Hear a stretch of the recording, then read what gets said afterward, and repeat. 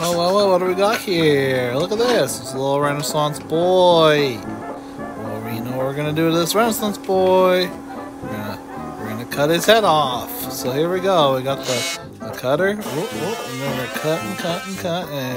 Oh my gosh. And oh, oh, plop. there goes its head. Oh, oh, just part of it. Better cut the, the back part now. Okay, here we go. Cutting, cutting, cutting. Yeah, yeah, yeah, yeah, yeah, yeah. Oh, there we go. Ooh, nice cut through there. Ooh, I think it just popped off. All right, gotta sand it. Then make that smooth. Smooth that head, head hole. That's nice. It's a head.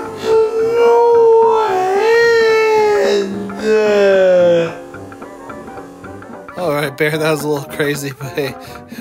oh, wait, that's me. I'm talking to me. Me, Bear, it to me.